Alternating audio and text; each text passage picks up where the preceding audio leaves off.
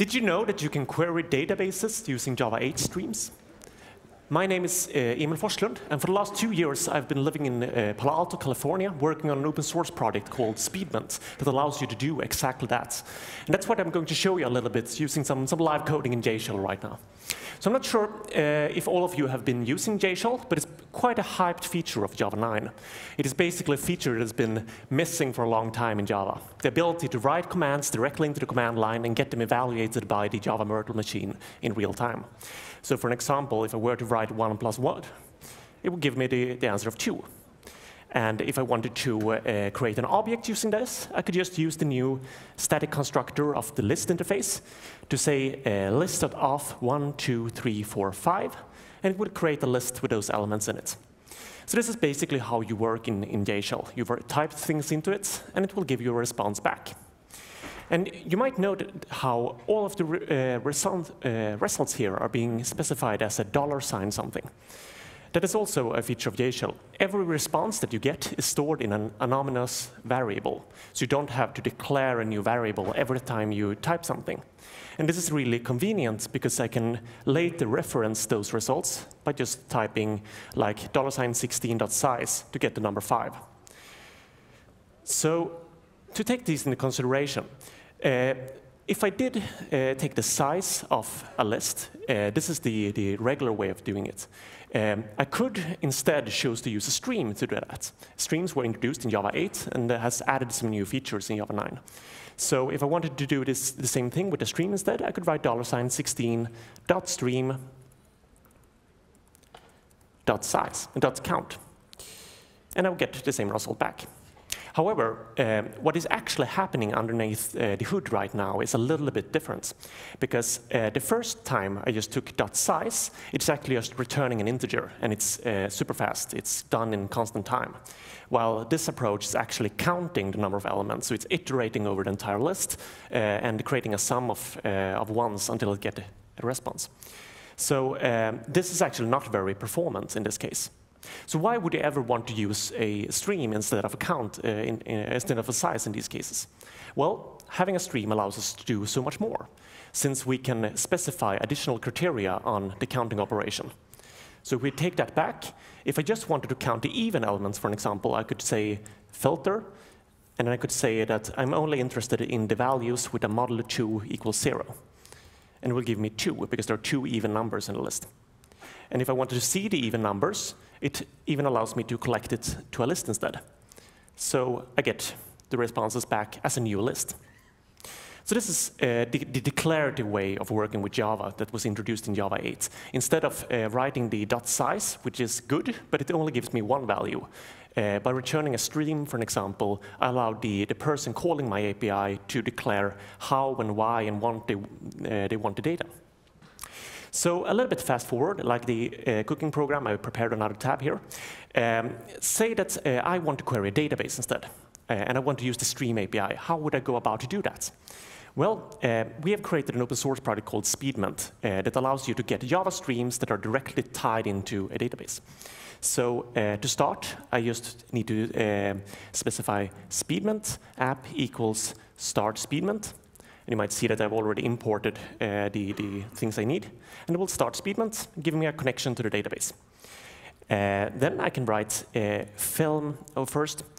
Uh, some of you might see that there is something called Sakila here. Sakila is an open database created by uh, MySQL uh, that is basically representing a movie rental store. And that's what I'm going to use in this example. So say that I wanted to stream over all the films in the database. I would create a film manager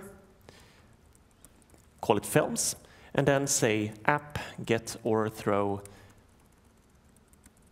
the, uh, the film manager.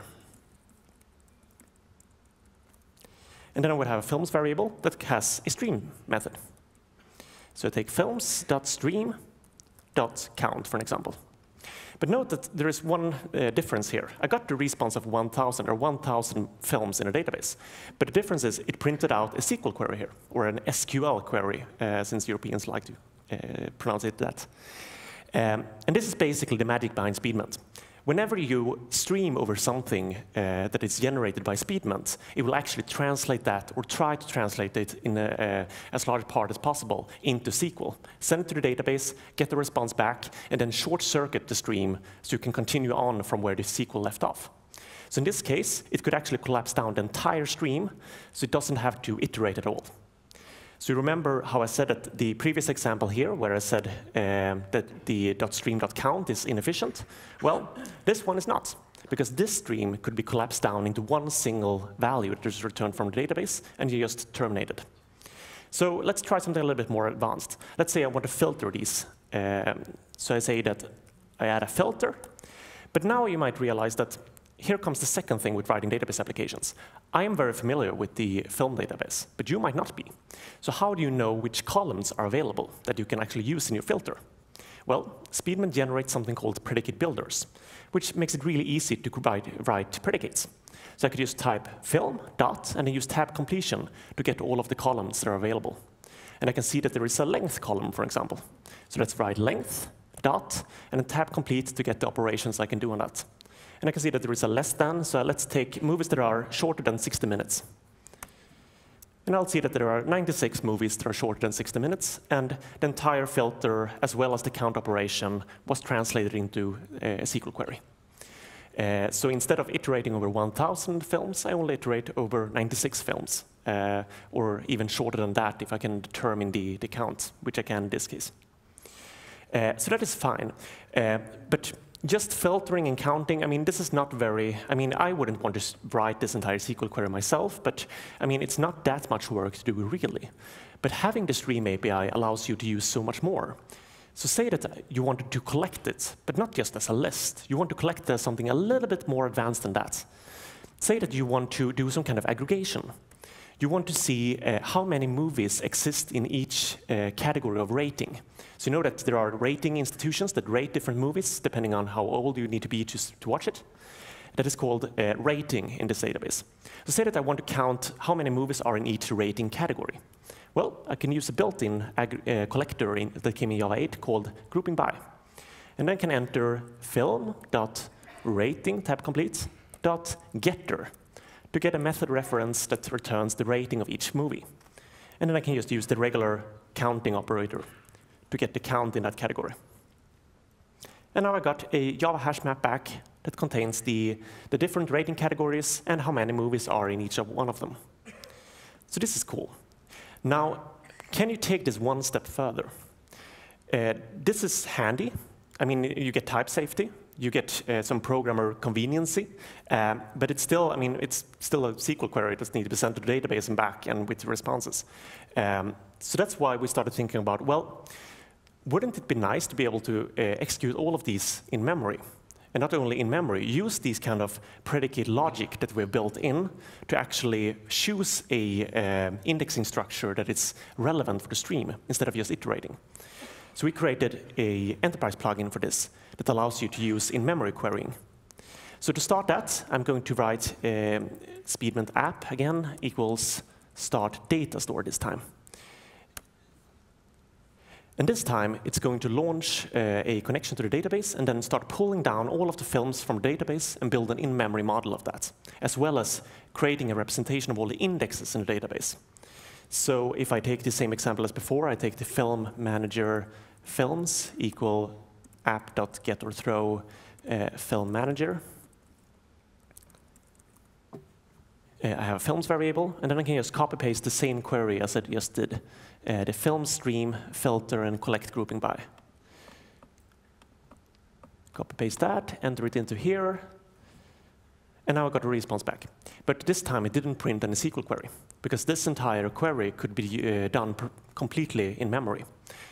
Um, and another part that is really interesting with this is that the in-memory part is not talking about heap memory, it's talking about off-heap memory which means that even if your database contains hundreds of millions of rows, you can still stream over it and still collapse it down using one single operation without polluting your heap and forcing your garbage collector to run con constantly.